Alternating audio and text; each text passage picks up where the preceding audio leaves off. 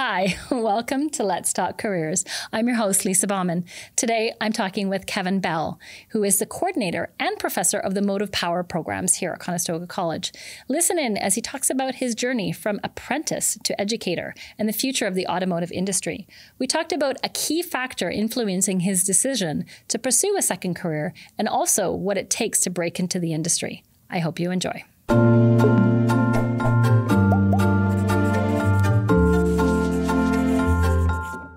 Welcome. I'm going to get you to introduce yourself um, and using the what I call the James Bond elevator pitch. And uh, we're happy to have you here. Perfect. Thanks very much for the invite. I'm uh, looking forward to this podcast. Uh, my name is Kevin, Kevin Bell. I'm the program coordinator for the automotive programs at our Guelph campus location, which Nice. is where most of our motive power programs operate out of. Yeah, wonderful. And what are you passionate about? I really like doing something the right way. Nice. There's there's lots of different ways to get to the end result, to get to the end game. Um, but there's right ways and wrong ways to do it. And yes, there's shortcuts, but shortcuts usually wind up causing issues or grief down the road. Uh, and I constantly say to my students, you know, you start cutting corners and you wind up with a circle. Absolutely. And that's exactly what you turn a square into. So doing something the right way goes a long way to me. And yes, it may take a little bit longer, but especially with apprentices and students, uh, understanding the correct method of doing it will get you to the the end result that you need. Yeah. I love it. I love that you can, by cutting corners, you can create a square into a circle. Yeah. I think that's a brilliant analogy. Um, so let's dive in. I want to start with like early days. And so I'm sure you've heard, you know, w- the phrase, what did you want to be when you grew up? So I'm curious to know, um, starting sort of from those early days, moving into some of your early career decisions, maybe post secondary journey, all of that stuff. I had no idea what I wanted to be as a kid. Um, I just kind of naturally fell into something mechanical. Um, my father was an engineer by trade, a civil engineer, so that's where some of my analytical thinking and my mechanical background from came from. Although my father had no interest in cars, no interest in mechanical hobbies, he just understood physics and understood mechanics. But I can remember at early ages, I just wanted to take things apart and see how they worked. And if I was lucky enough, I'd put them back together and they'd work again. Everything from little, you know, Lego motors to radio controlled cars. And I just really liked seeing how things work and, and what the input and what the output was. So I guess it was ingrained in me from a very young age, not because I was taught that, but it was just something I was kind of interested in and passionate about. And then as I got older, I started taking an interest in, well, then it was bicycles and then it was cars. And it was just a natural migration to get into the automotive industry or get into the repair industry. And when I first decided this is what I want to do and this is, you know, the path I'm going to take, my dad wasn't really too thrilled about it because he kind of wanted me to go to the engineering side of things and and follow in his footsteps. And I just didn't have the interest in in getting to that level or going down that road. I was much more there was much more reward when I could work on something and I could fix it within half an hour Right. or an hour or a couple of hours. Right. The the end result of the reward was it was right there. You could see the light at the end of the tunnel. And so I, you know, continued my schooling. I actually changed schools towards the end of my high school years because the school I was at didn't have any mechanical programs. They had uh, small industrial arts programs, but it was woodworking and welding, and I had taken all of those. So my last year of high school, I uh, I flipped to another school which had auto shop, and I just needed six cre- credits of anything. So I would go in the auto door, I came out the auto door, I took auto, auto, and auto. I saw none of the rest of the school, and Wow. it was just automotive. Yeah. And part of that was co-op, Yes. and they placed me at a, a service center for a co-op term, and that worked out really well for me. The uh, I guess previous co-op students hadn't been terribly successful. It was just a program for them. It was just a way to get out of school. But I had already decided this is what I wanted to do. So I was reasonably passionate about it. Plus, I had a car at that point and I was doing a lot of, you know, my own maintenance on the vehicle. And my first car was older than I was. Cool. So that kind of gives you an idea of what kind of maintenance something Yes. of that uh, that Was vintage required. steel? It was steel. Uh, Nice. And as my Wait. dad used to call it, a piece of pig iron because it was an old American car. What what what car was it? It was a 1969 Dodge Dart. Nice. Uh, and it was nothing, you know, classic other than the age. It was four doors. It was a six cylinder. And it wasn't even the big six cylinder. It was a small six cylinder. But that car taught me a lot of valuable lessons. And number one being, if it ain't broke, don't fix it. because all I wanted to do was tinker with it. I, I this isn't leaking, but it's probably never been replaced, so I should take it apart and replace that gasket and snap, break. You learn from it, and there were a whole bunch of learning curves all along the way. So that was that was the beginning of my passion and being able to apply it. And yeah, my co-op term worked well, and they then took me on as an apprentice when I finished that. And I was at that shop for the remainder of my apprenticeship and all the way through till I till I got my license. So, can I ask where where geographically were you when you did this? So I grew up in Toronto. Okay. I grew up in the uh, the area of uh, Don Mills and well Lawrence and Don Valley Parkway, so Don Mills and Lawrence area. So uh, fairly well-to-do community. I mean, lots of you know amenities uh, in your backyard, lots of nice houses and everything ranged from you know blue collar workers like myself all the way up to the, the more exquisite or the the white collar industry. Sure. Um, and I really enjoyed working yeah. in the community because a lot of the customers that I had when I was working at that service center, which was also in Don Mills, I used to deliver newspapers to them as a kid. So they would come in and hey, I haven't seen you in years because it would be in the neighborhood or around the block and, and we don't cross paths on a regular basis. And obviously at this stage in my career, I had given up the newspaper route. Um, but yeah, it, it, was really nice to make that connection and, and then they would go back and tell their neighbors, hey, remember the kid that used to deliver our newspapers or shovel our driveway when we had snowstorms? And those were all the things that I enjoyed doing as a kid. And, and now that that rapport is kind of coming back uh, to to you know another another lap or to complete itself. That's that's so that cool. was a lot of fun. Yeah, that's cool. And I I really liked. So actually, it's interesting that you had to change high schools to get to the courses that you wanted to do. Mm-hmm. And I and I think I'm not too sure about the public system now, but I think there's more and more co-op. I was actually one of I think one of the first co-op kids when it was introduced back in the 80s, mm-hmm. believe it or not. That, yeah, this this would have been late 80s for me. Yeah, so you might have been one of the first ones too. um, and uh, I did I did a co-op, and I have a strong advocacy for co-op, high school, college level, you know, university, what have you. I think they're incredible for giving you that. Um, initial career exposure, exposure right? To yeah. see if this is something that you liked. Yep. So what did you so you did your co-op, you got hired as an apprentice. How long does the apprenticeship take? At that point, it was hours based. Uh, today's apprenticeship program is a little bit different. They've modified it over the years, but at that point, it was hours based, and it starts off with a nine thousand hour contract, okay. and then they the ministry will apply credits to that contract based on how many years of high school have you completed past grade 10 because at that point grade 10 was the minimum requirement for apprenticeship now it's grade 12 you have to have your your secondary school diploma so I had a whole series of credits applied to that because I had taken auto courses. I had completed my grade 12. I did the co-op course. So my contract was set up for 5,600 hours. So should have been nice and quick and short. And I could have been able or should have been able to knock that off in about two and a half years. But it was late 80s, early 90s, and that's when the economy started to take a bit of a downturn. So I wasn't working 45 hour weeks. I was working 30 hour weeks. Well, I lived around the corner from where I worked.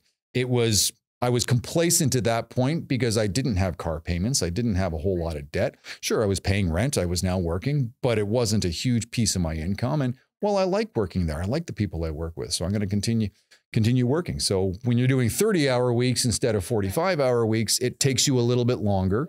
Uh, but it was nice. I would come in at 12 o'clock in the afternoon so I could hang out with my friends in the evening and not have to worry about getting up at the crack of dawn for work. So all of that took a little bit of toll. So it ended up taking about five years for me to complete my apprenticeship, which was about a year and a half longer than it realistically should have. But no harm, no foul. At the end of the day, it all worked out. And yep. uh, yeah, the rest is history. Okay, but wait, we got to talk more about that history. so you're there, you're in the apprenticeship, you you're you're still with the shop that you're working with. Yep. Uh, did you stay there? Yep. Okay, how long? I was there for, well, I would have started as a co op student in about 89. Okay. Uh, and I lasted right up until about the summer of two, uh, sorry, 95. Okay. So I was there about six years, give or take a little bit. Uh, and that was my apprenticeship years. And I wrote my license and uh, got my, my certificate of qualification in the winter of 1995. Uh, and then I left there in the summer of 1995. Things were still kind of not deteriorating, but you know the business wasn't doing really well. The economy was better in some areas than the others, and I had I realized that that's as far as I'm going to go in this place. I guys I work with were fantastic, but I'm not going to gain any more. There's no there's no room for progression. Um, so there was another shop. Uh, so I, you know, took a few weeks off, or I was laid off actually, and that's okay. Spring, summer's here. I'll take a few weeks off. I'll enjoy some downtime. And word got around that uh, I was looking for a job and I was unemployed. And I actually had shops calling me, thanks to our local parts supplier, and say, "Hey, we we hear you're looking for a job. Why don't you come up and have a chat with us?" So I uh, ended up working at a, a, Goodyear shop out in Thornhill for about two and a half or three years, and went out and visited with them. And they said, "Yep, can you start next week?" I'm like, "Yeah, okay, I can start next week." And you know, we negotiated some some hours back and forth, and I worked there for about two and a half or three years, and it was and I it was great because they had a bigger clientele. Um, they were a little more progressive than the shop I had come from. So there was better equipment. We were working on newer cars, and I was working with other guys who were were fairly strong in the repair and the diagnostics. So as a team, we had a really good team when I worked there. The shop that I had worked at originally and did my co-op and my apprenticeship with, it had since um, gone. I, I, won't say belly up, but it had since closed its doors and then it was being re- reopened under new ownership. So after about two and a half years, I still lived in the same area and I saw the signs under new management opening next month. And I thought, hmm. So I went to figure out who the new management was. And it turns out it was a, an individual who had another station down the street. And this was a, a, Shell franchise. So he had another station down the street. So I went and chatted with him. And he said, Well, I, have got a couple of people lined up, but yeah, I, I'd consider hiring you. And so, you know, here's what we can work out. So I thought, great, I'm going to get to go back to my original, you know, proving grounds and see the same customers and, and bring them back in again and kind of start things from the ground up and ended up running that shop for about five years. So it worked really well because he had a shop down the street and he would come down once a day, sign a couple of checks, make sure that everything was in order, and then he'd head back to his shop. So I had all the the luxuries of owning my own business without the financial responsibilities of gotcha. it. Gotcha. Yeah. So let me just bear with me a minute. I want, to, I want to step back a minute because you said something really important. I want to dive in just a little bit more. You were talking about when you made that change, you were laid off, you made that change, and you had a connection with the part suppliers. Mm-hmm. And that then led you to the next opportunity. Yep. So, how did that kind of, what would you say would be the thing that made that the, the piece that led to the next step? Like, was it the building of the relationships? Was it the connections? Was it, you know? It was it was probably a little bit of everything. It was, you know, not burning any bridges anywhere. Right? Yes. I didn't go marching out the door. Yes. And we, as I said, we we had a really good dynamic yeah. uh, at the at the station that I was working at. Um, we had two or three main part suppliers that we used, and they had representatives that would come by every couple of weeks to make sure, you know, do you have any cores to go back? Was there any warranty issues with any of the parts? And so they built a relationship with the with the shop, and I knew who they were. And I mean, I was just a I was a licensed tech or an apprentice, but I knew who they were, and they knew who I was. So when I got laid off, they very quickly got wind of it because they would come by and oh yeah, Kevin got laid off last week, and I'll keep my ears open. And, and they just knew from dealing with the shop that this is somebody I wouldn't mind promoting because they, they the the rapport at the shop was that yeah he's he's a good tech and it's unfortunate we had to lay him off but so then the the parts guys who visit the shops on a regular basis they would just spread the word and right. this uh, this one shop picked up on that and they yeah. reached out to me so I'm curious right so this is back 90s this would right? have been yeah 95 and a lot of people say when they're sort of searching for searching for jobs or what have you they'd be like oh you got to apply or you got to do this so if you were to th- would you suggest that that building of relationships and networking, contacting with people, and you know, being knowledgeable, being helpful is is a is a something that can still be applied in today in terms of the way that we search for jobs and do that kind of stuff. Do you see what I'm absolutely, saying? Absolutely, absolutely. I mean, networking, especially today with social media, goes there, there's so many more connections, there's so many more avenues that you can connect with to to put yourself out there or you know just to get to know people and and I I frequently refer to the the the whole process as a bit of a pyramid. So you start off as a co-op student or an apprentice, and well, you go to school with a whole bunch of other apprentices, and and there's maybe a whole bunch of people in the shop. But when you want to take things to the next level, when you're striving for that extra little piece of information or a little more knowledge or a little more diagnostic skills, and you're taking some courses on your own, right? It's after hours. Hey, part supplier is hosting a, a training course and I, I want to know about that. And I'll go if you'll pay for it. And the boss, yeah, okay, I'll pay for it. You go. And when you start attending these courses on a regular basis, you start seeing the same people, but it's now the next level of that pyramid. And then you get to another elevation or another point where now you're a little more involved in maybe, you know, helping other people diagnose or fix vehicles, or they're calling you for a little bit of information. And now you've reached that next level. And that pyramid continues to get smaller and smaller and smaller, but you continue to see, see the same group of people over and over and over. And that goes a long way if you ever needed to fall back on that, or you ever needed to reference, or you ever needed people it's cliche when you say, you know, never give up an opportunity or never miss an opportunity. You know, you miss 100% of the shots you don't take. If the opportunity is there to attend a training course, take it. If the opportunity is there to network with a group, take it. If there's a open house at a parts supplier, and I, I reference parts suppliers because that was kind of the the norm for our industry. Um, take it right and and network and just understand, and you will meet people and know people, and you never know what opportunity may come out of that. Yeah, yeah, yeah it's it's still good wisdom Absolutely. even today yep. even today okay so you've shifted employers you're back in your home ground you get this pleasure of sort of running the business without having to have that financial piece yep. what then happens next because it was a, uh, a franchise because it was a shell station there was a uh, a time limit on the lease that we had uh, with the with the landowner and we knew that at some point that was probably going to come to an end because Don Mills was undergoing some growth and they were redeveloping a lot of the local businesses. They were redeveloping um, buildings, they were redeveloping the, the mall that was beside us. So we kind of knew that that day we're not going to be here for another 10 or 15 years. Uh, and it got to the point where uh, Shell said, "Well, we we would like to renew the lease," and the uh, the the landowner said, uh, okay, we'll give you a, month to month lease. I'm like, well, we can't really build a business on a month to month lease. Like, if we're going to put any money into the business, we need to make sure that we're here long enough to be able to to get that back out of the business. So uh, Shell had said, no, we're not really re- interested in a month to month lease, and they they terminated or the the lease finally came to an end. And I ended up transitioning down the street to where the the owner or the lessee had his other business because it was also a shell station, but they were still still going because their land wasn't being developed. And so we kind of amalgamated the two businesses and and that worked well too, but it was a very different clientele. Even though it was only 3 or 4 kilometers down the street, it was the other side of Eglinton Avenue. It was a completely different clientele and it wasn't quite as much fun. You were always fighting for the jobs. And I don't mean fighting amongst yourselves, but it was a struggle to, well, this is what you need. Well, that that's too much money. I can get that done down the street. No, right. no you can't because there's nobody down the street. I just came from down the street. Right. There's nobody there's there nobody that will there. do that for you. Yeah. Okay. And I just I always found myself kind of fighting tooth and nail, trying to trying to sell that job. And and I'm I'm trying to be the best tech I can. And I'm trying to you know, make sure that you're putting the good brakes on your car and make sure that we're supplying quality parts.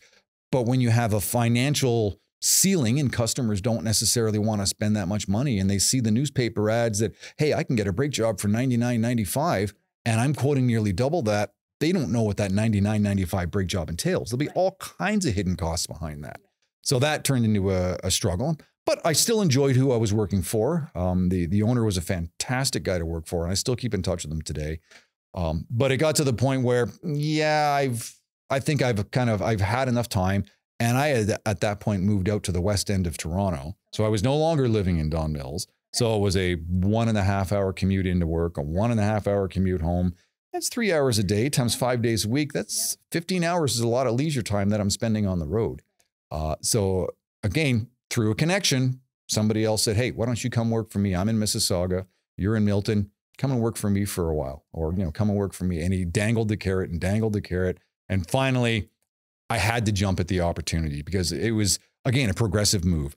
It was a newer shop. It was modern. It had all the modern equipment. Um, they had a, a, a very well-to-do clientele. We weren't working on you know 15 year old rusty cars. We were yep. working on nice new modern cars. And, yep. and they were always private shops that had worked at so i've never been in a dealer life or a dealer environment. So i've okay. seen everything from you know 40 or 50 year old classics yep. to 20 year old rust buckets that are cobbled together with mm-hmm. bubblegum and shoestring, mm. all the way up to, hey, my car is three or four years out of warranty. That was my 1979 Chevette.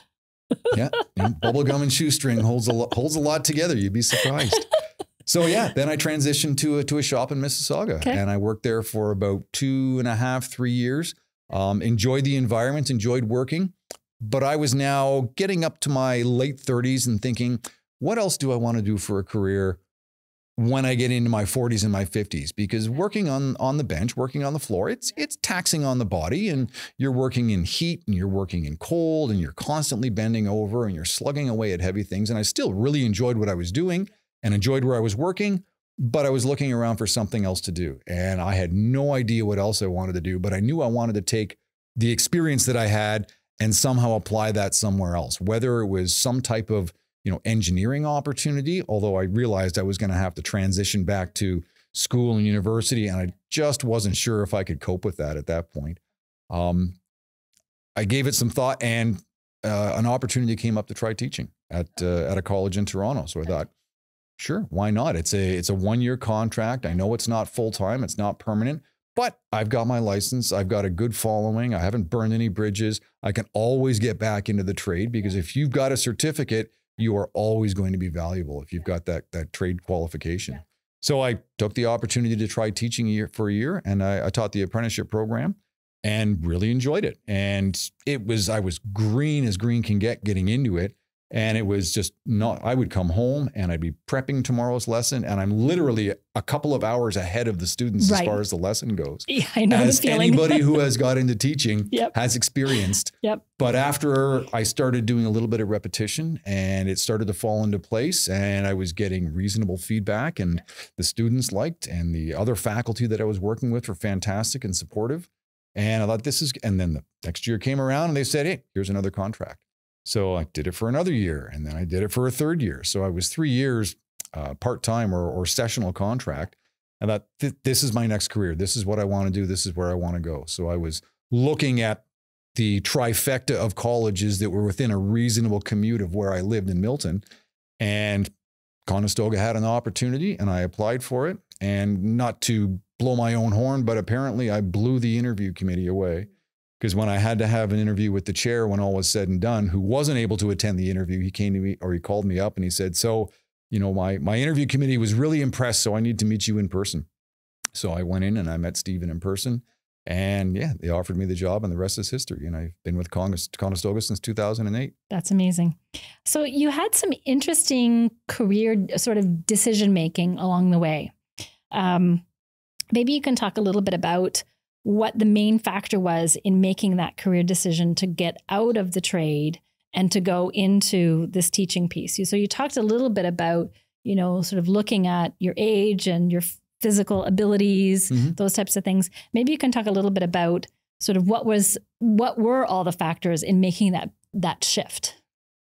My perspective probably starting in my apprenticeship years was to and and my dad would be proud of this cuz set a goal like, and it doesn't have to be a goal for today or tomorrow, but set a goal. And my goal when I was going through my apprenticeship, because my dad wasn't really fond of the industry that I'd select or I'd chosen to get into, mom was, your dad doesn't think you're going to follow through with it. Well, I was determined to follow through with this and get my get my license. So my goal was to be licensed by the time I was 25. And then I just literally by about 24 hours made that goal so I wrote my certificate of qualification on the day before my 25th birthday.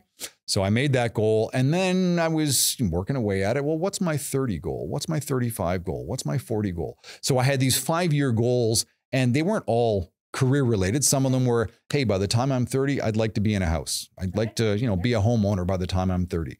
And by the time I'm 35, I would like to make sure that, you know, if I'm going to start a family, that's probably a sound time to start a family. And by the time I'm 40, so I had all these goals all the way along. And I knew that by the time I was getting up to 45 or 50, I was going to have a different goal set because I probably didn't want to continue with this career just based on the, the physical demands on the body.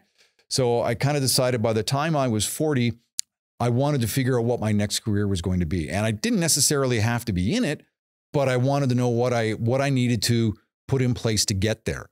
Uh, and it just worked out really well that I was able to take that contract at the other college and yeah. do that for three years. And then it migrated into Conestoga. Yeah. And so I managed to hit that goal. Yeah. Why teaching though? I mean, because, and maybe you could talk a little bit about that. Like when you go from being in a trade, a lot of people think, okay, that's it, right? I'm going to be in the trade. I'm going to be doing this forever. And they're not well, I've seen a few people struggle to make that next step decision. It wasn't something that I had ever forecasted. It wasn't yeah. something I had ever strived for. In fact, during my, you know, licensed years or my bench years, if someone had said, you should get into teaching, me teaching? That'd be ridiculous. That's not something I want to do. I, I'm no good at that. But looking back on it, over the years, I've had customers who, you know, come in, pick up their car, and I'm giving them a brief explanation as to why we had to replace this part and what it does. And I've had customers say that that's a really great description. Thanks for taking the time. You should consider a, a career in teaching. And not that that ever planted the seed, but looking back on it, well, maybe I did have something. And and I've always enjoyed talking. And, yeah. and, you know, ask how do you know when you're sitting beside a teacher? Don't worry, they'll tell you. Right? I've always enjoyed talking, and I've always, you know, and it, it got to a point where I would enjoy educating friends because mm. I had, you know, lots of friends growing up, but not all of them or many of them got into the trade or got into the industry or were mechanical. But they would then trust me or rely on me to, hey, my car's doing this. Can I bring it in? Can you have a look at it? And I really enjoyed kind of explaining to them and, and educating to them because they were interested. They just didn't have the understanding or the training that I did. And I really kind of enjoyed that. And when I decided to pull that trigger on teaching and try that out, I had a lot of friends say, that's that's perfect for you because you are always doing that. Whether you realize it or not, you are always trying to extend that knowledge. And so, yeah, I, I, guess it was a natural, but it's not something that I would have considered when I was, you know, on the bench or when I was working away at things. Yeah. Yeah. Let's shift into the industry just a little bit because I'm because it's like to me, this automotive industry actually is really fascinating. There's going to be some big impacts coming. um, and so I want to talk, you know, what what are your thoughts about kind of getting into the industry? What skills you think you need to kind of get into that industry? You know, how do you get your foot in the door into that position? Those types of things. Let's start there, and then I'm going to shift a little bit. You're right. The industry is is changing by leaps and bounds. And every time there's one little piece of advancement in technology, that affords 15 new features on a vehicle, right? And we're at a point where we're starting to see EV uh, e vehicles, right? Electric vehicles or battery hybrid vehicles. And that is really becoming the forefront. Is it the answer? No, but it's certainly the way things are going to go for the next 15 or 20 years until hydrogen starts to become the norm. Um, now would be a great time or is a great time to get into the industry because if you're reasonably fresh out of high school, you've probably well, I guarantee you've been you've been brought up around gadgets and tablets and devices and the aptitude is probably already there for a little bit of opening this finding out where that setting is, drilling down to make something work, especially if you've dabbled in any type of, you know, Android devices where you can you can fine tune things and customize them. Well, the automotive industry, while you're not necessarily fine tuning and customizing, you do have to have an understanding of, of how computers work, how software works, how programming works, because there's always going to be breaks, there's always going to be the mechanical repairs, but so much more, more of it has shifted towards the, the software side of things. And now, when you have one module that doesn't work, it takes down an entire network, and there's 25 things on the car that don't work.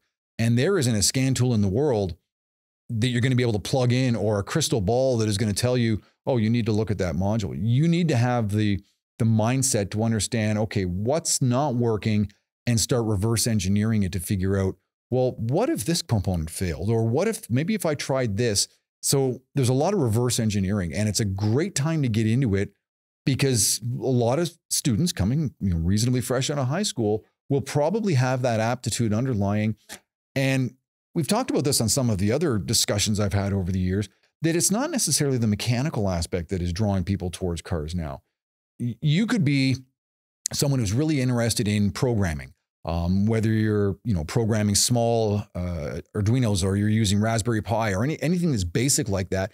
But now you get into the automotive side and maybe you get into the, the electrical diagnostics. So you're not doing the mechanical side of things, but now you're plugging in and you're understanding the programming or you're understanding how to customize some of the features. Uh, being able to take a, an electric vehicle, pull up the app on your phone, and summons that vehicle from across the parking lot. It's that kind of connectivity that is really attractive to some. So they may not be car people through and through, but they love that connectivity. They love to be able to physically touch something here and make something work over there. And if that's their aptitude or if that's their interest, then absolutely there's a position in the automotive industry for them. So, that. given the fact that the automobiles are constantly changing, um, new models, new technologies, new pieces coming into play. As a person in the industry, how do you keep up with that learning? How do you keep up with the changes of those of that the yeah that those It's- changes? It's challenging. I mean, it's it's much easier from a dealership level Okay, because dealerships they're the ones that see the 23 models, the 24 models, the Yep. 25 models, and they need their technicians to be trained on them. So they have dealership training. And Okay. Most of the time at a dealership level, you're expected to participate in that training. okay, For example, if you're going to start working on the hybrids, well, you can't just bring one in and start working on it. You Right. need to be certified right, by their training standards. okay. So how Uh, does a shop person so not a private shop or private industry is a little more challenging. Now, okay? having said that, they're not seeing 23s, 24s, 25s. Right. They don't see them roll into their door until they're outside of that warranty period, right, which is usually three to five years down the road. Right. So it's not cutting edge technology anymore, but maybe the newest vehicle they're working on is a 2017.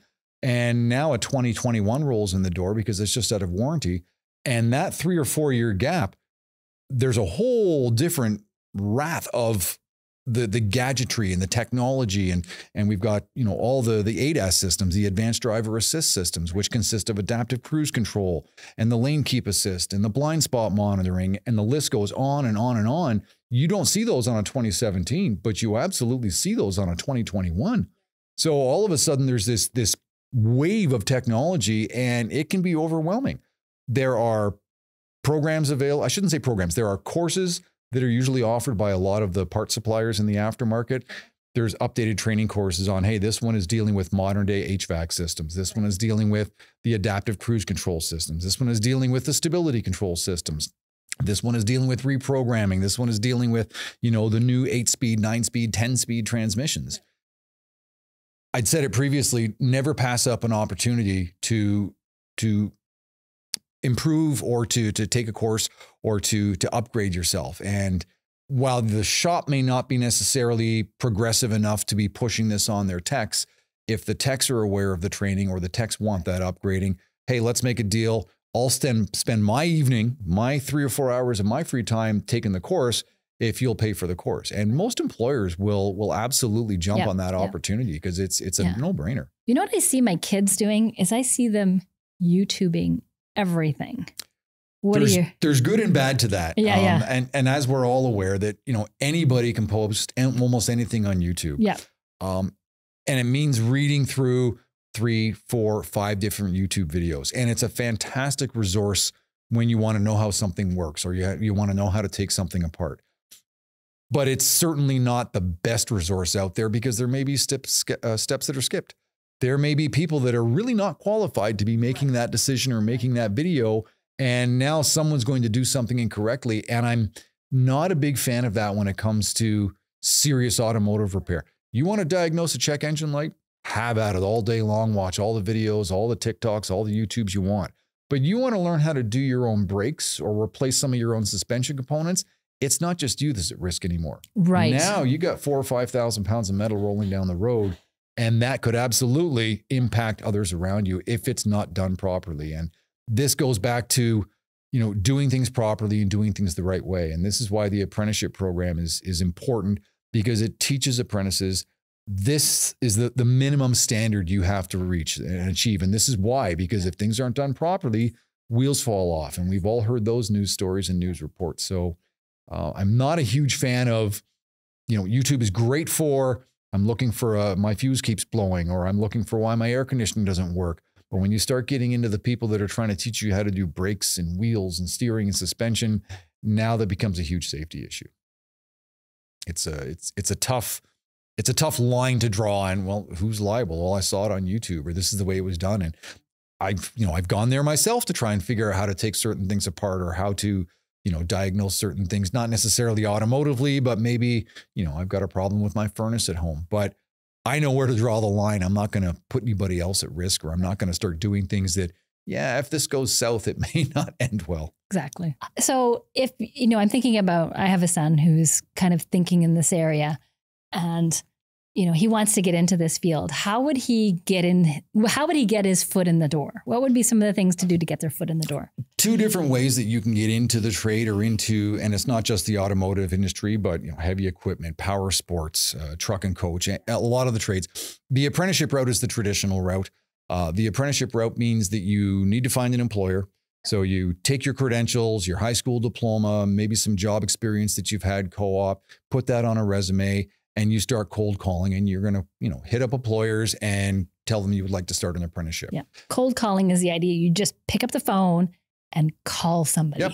And, and you don't know them. Even better in person. Yes. Um, I mean, you and I came from an in person environment. Yes. Right. We grew up in person. We didn't yes. have devices. We didn't Yes. have video conferencing. We didn't have text messaging. Yep. So we're still of that in person generation. Right. And most of the employers out there are probably of a similar mindset. They would way rather see somebody come in in person, walk in, introduce themselves. Here's my resume. I'd like to start an apprenticeship. Any possibilities, any opportunities. Because you pick up a phone and make that call, it is not going to have the same weight behind it. Or if you send an email in, that's just going to wind up in an inbox somewhere. And yeah, it may be valuable and they may collect it. But man, you come in person to person and you make that face to face connection, that will go a long way in establishing a relationship right off the bat that, that could very well turn into an apprenticeship piece. So, traditional apprenticeship, you go cold calling. The other course, obviously, and Conestoga, amongst a lot of others, are doing this, are the post secondary programs. And they will appeal to students who have recently finished high school or just finished high school. But now, if you're leaving high school and you're trying to start an apprenticeship, you're competing against everybody else who is leaving high school. And the employers know that there's a huge range of how automotive courses are taught at a high school level. So it's great that you took some trades in technology. It's great that you took one or two years of auto, but what did you actually do? By taking a post secondary course and graduating with a certificate or with a diploma, now you've got some credentials under your belt, and that will put you head and shoulders above other people that are applying for the same job, which maybe don't have the credentials. Um, it skews things a little bit as far as timing goes because yes you're going to spend one year at college or you're going to spend two years at college but most of the time that time spent here is only going to benefit you and you become way more productive when you get into the trade and that's what the employers are looking for. That's the feedback that we hear from our program advisory committees is we really need to see the basic skill sets. So because like it or not you start off in the industry you're going to start off at the ground level right? The only job you ever start at the top is when you're digging a hole. You're going to start off at the bottom. You're going to be doing services, oil changes, tires, and a lot of that seems repetitious, but it's a foundation and you need to prove yourself. And the day will come Yeah. as an apprentice that you Yep. can prove yourself to the Yeah. employer. And I've got all kinds of stories about that too. Hundred percent. Yeah, yeah. What What do you think is the best skill a young person can come into into that apprenticeship? What would you say would be the best skill if they were to like hone in any of their skill sets?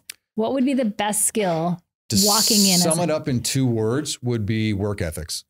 Um, they don't necessarily have to have all of the knowledge, all of the smarts, all of the aptitude. That can all be taught, but they have to come in there willing to learn and they want to learn. And time to lean, time to clean. All right. Nobody's ever going to, you know, lay you off or fire you because you are holding a broom.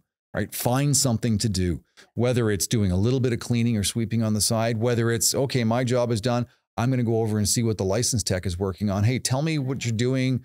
You know, teach me what this is. You show the initiative, and there's always somebody looking, and employers will pick up on that. And not every single employer is, you know, some of them are just, it becomes a mill and you just, you know, run one apprentice after the other until you find somebody you're happy with. And again, that's kind of part of the apprenticeship path. But there are lots of great employers out there. And and I've been fortunate. I've always had really good employers to work for. Um, I've never burned any bridges. I've never, and I still keep in touch with as many of you know previous coworkers and employers as I can. So the the the want or the drive to learn that is that is in the forefront. Yeah, you talked a little bit about some of the the technology impacting this industry, you know, and we talked a little bit about the you know sort of the future. You mentioned, um, sorry, hydrogen. Would be the the next level of, Yeah. of propulsion. So yeah, where do you think the industry is going? Where do you think this industry is going? electric cars, and I know a lot of people are not fans of the electric vehicle, but I think it's possibly because they don't have an understanding of it's foreign to them. They don't know how they work. And there's always the argument that it's not that environmentally uh, environmentally friendly because of the the mining process and what it takes to make the battery and what are you going to do with that battery after 10 years. There is it is without a doubt a way more efficient way to propel a vehicle forward and just to use a couple of uh, won't say statistic but facts your internal combustion engine is at best about 35 to 40% efficient which means that for every dollar you put into your fuel tank, 35 to 40 cents is actually pushing the car forward. The other 60 to 65 cents, we're giving it away in heat. We're giving it away in friction. We have radiators to get rid of the heat that my internal combustion engine produced. I'm not using that heat to move the car forward. So, internal combustion engines are horribly inefficient. You take an electric vehicle, they're about 90 to 95% efficient. So every dollar that charges that car, about 90 to 95 cents of that dollar is actually pushing the car forward. There's very little friction losses. There's very little heat, and there's way few, way fewer moving parts in that vehicle. And they're actually much simpler and much easier to repair because there's so many less moving parts. Um, I, I took a training seminar a couple of months ago, and one of the manufacturers had said, "Hey, look at this this new camshaft we developed." They've taken what used to be a one piece device and turned it into about 36 different moving components that are going to spin at about 4,000 RPM. Like they're going the other direction. They're putting more moving parts on the car. Whereas electric vehicles, you've got one, maybe two electric motors. You've got a simple differential. You've got a battery. You've got some controllers. Um, so electric vehicles, hybrid electric vehicles, they're absolutely the way of the future. Um, it just makes more sense. And as our infrastructure gets stronger and stronger and stronger, it will be able to support it. And I realize there's always the infrastructure issue. As the manufacturing process, the technology improves, the batteries are going to get better and better and better. We're going to get more longevity out of it. And then hydrogen is going to be the next. Uh, Toyota has been working on hydrogen for several decades. Um, there are four or five hydro filling stations that are supposed to be uh, on hydro filling, so hydrogen filling stations that are supposed to be developed in Ontario within the next three to five years. Um, hydrogen is is well, I mean, it's it's there. You we've got it in water. Have a glass of water, and you're having some hydrogen with it.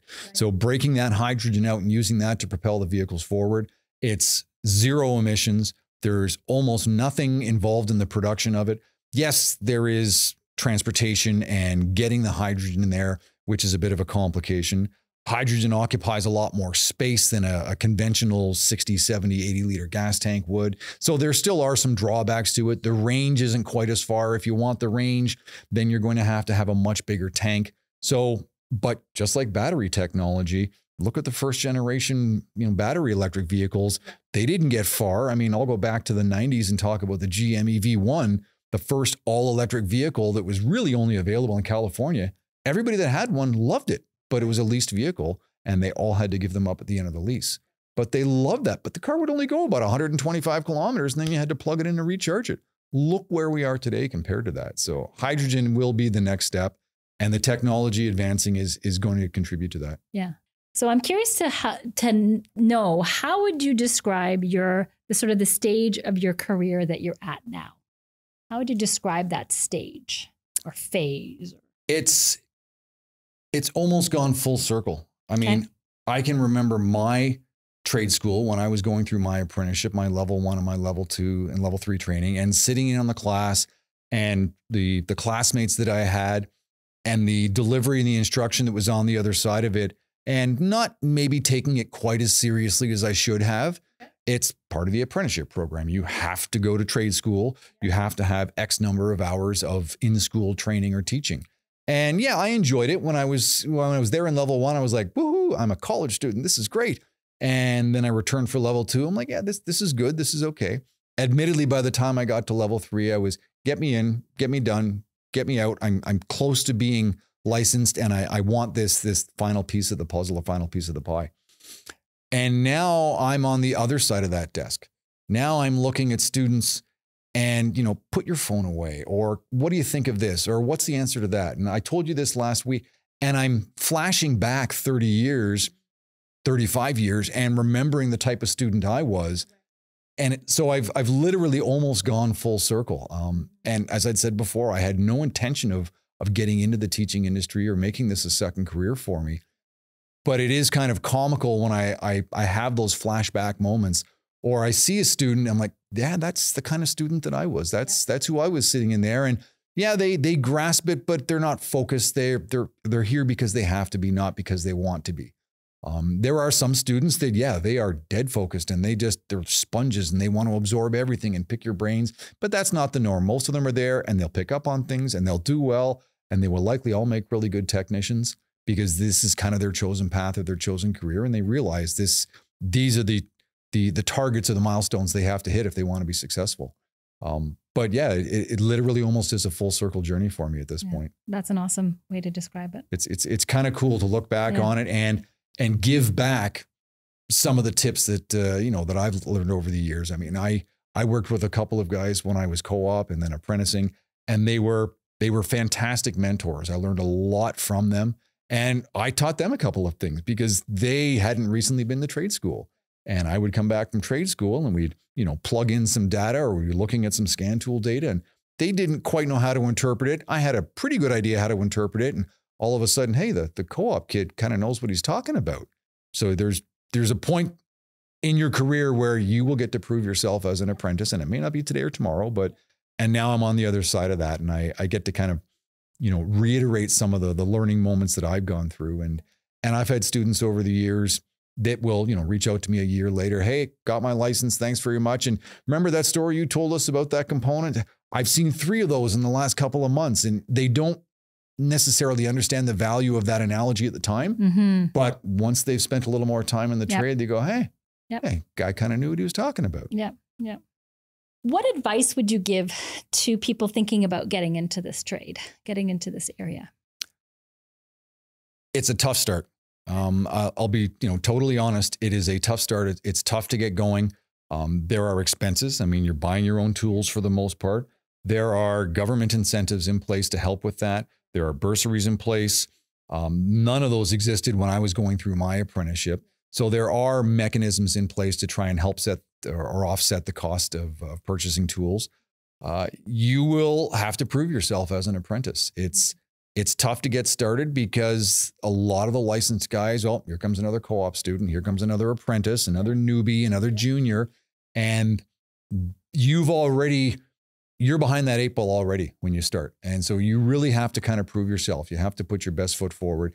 You have to strive for, I want to learn this. I'm passionate about this. I like cars. And it's not just because I've seen a whole bunch of TV shows, but because I understand or I want to know how things work and what makes things tick in a you know mechanical environment or mechanical world. So if if people are considering getting into this industry, uh, it's a fantastic industry to get into. There are lots of rewards, and even if it's not something you want to do for the rest of your life, once you're, I mean, I was 15 years on the bench, right? I started in about 89 and I got into teaching in about 2005. So I was 15 years on the bench and I really enjoyed what I did.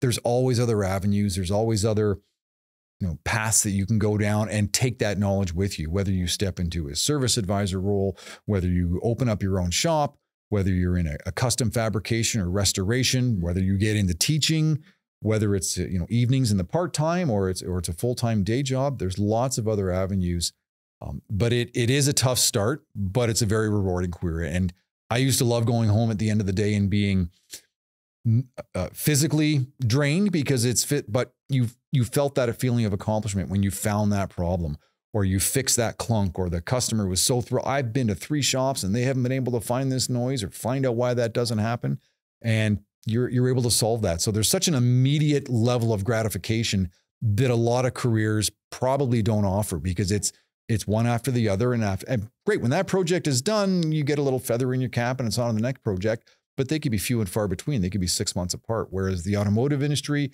there is that level of reward, in my opinion, that you saw on a, on a almost daily basis. So it's it's it is a rewarding career, and it's it's a tough start, but uh, it is something that is a, that it will pay dividends down the road if you put the the time and the effort into it. Yeah, yeah. So what's next for you? Can I use the R word? Oh yeah, I know that word. I uh, yeah, my my retirement is is the next five year goal for me. Okay. So uh, so I'm I'm I'm creeping up on it slowly, okay. and I I'm my wife and I have lots of things that we want to do. She mm-hmm. she retired early, so uh, she's been already retired for a couple of years, but has been doing some part time work with Conestoga, teaching in the School of Business. Mm-hmm. So there's a, a bit of a collaboration there, and we can mm-hmm. go home and and either you know celebrate a, a, victorious light bulb day or we gripe about the way some of the programs work. And so yeah, we we get along really well that way. So she's looking forward to retirement. Yeah. Um, i'm looking forward to retirement. That would be the next step. Well getting there? Yeah. Well but hang on though. Wait wait a second. What will you do in retirement? I will have all kinds of things to do. Okay. Uh, i am forever tinkering with things you know moving things fixing things improving things renovating things. Mm-hmm um, my goal is to to build a small hobby shop uh, on our on our property, and I will take on a, an old classic car project. And I've said this to a lot of friends and coworkers: is I would love to get a you know a late '60s, early '70s vehicle and then fill it full of modern technology. Nice. What what would be the vehicle? I would like to get my hands on a probably a late '70s, uh, late 60s early 70s uh, A body Chrysler Nice. So an old Duster, a Demon, a Dart, something like that. Maybe gotcha. even an E-body, a Challenger, and then stuff a modern day five seven or a six four Hemi into it. So on the outside, you've got all the classic looks, but on the inside, you've got the modern instrumentation, you've got the push button start, you've got the efficiency, the reliability, the economy, just as a project, and and it could stem from there. So that's that's kind of a retirement project or a retirement goal. And we've got other toys. Both my my wife and I ride motorcycles. So there's always, you know, tinkering and maintenance and and cleaning and places to go. Uh, we enjoy traveling. We try and do at least one major motorcycle trip every year. We've been down to Arkansas. Uh, she's been out to the West Coast. We've been to the East Coast. We spent a week riding around Newfoundland several years ago. So yeah, we've we've done a fair bit of riding, and yeah, I mean that's all all part of our our time too. So now we'll have a little more time to do that, and and some of the other travels that go with it. I don't think there's going to be any shortage of things for me to do, not because I have a huge honeydew list, but because i am looking forward to doing things on my time and and when I want. And if I want to have a lazy day, I can have a lazy day. Perfect. I, I think I've earned it at this point. I would say so.